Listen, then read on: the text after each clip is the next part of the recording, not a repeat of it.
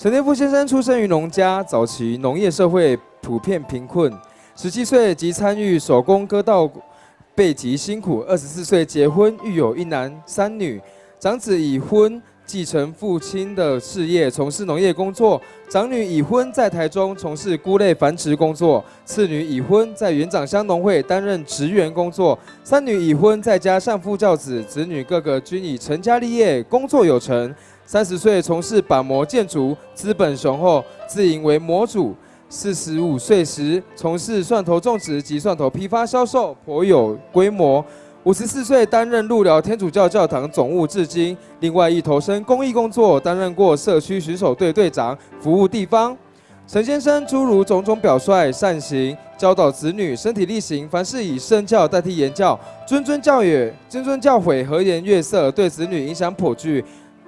获颁为本乡模范父亲，再次恭喜陈天富先生，也邀请我们的李明明李乡长、韦兰景赏地两聘，欢迎。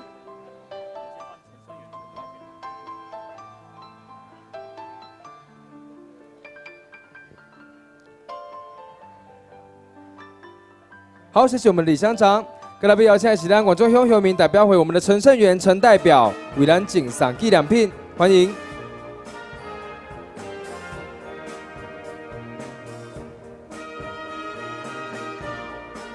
好，谢谢我们的陈代表。各位不要请起南广中乡农会总干事我们李美龙李总干事为咱敬上纪念品。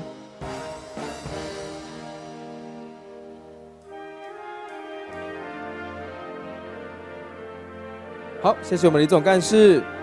各位不要请起南路北村村长汤立生汤村长为咱上台敬上纪念品。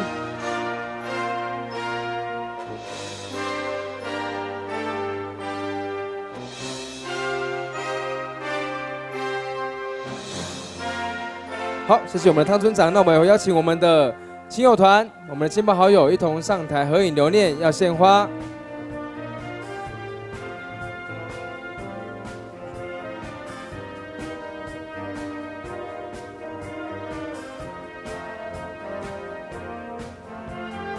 好，来，我们一起看镜头。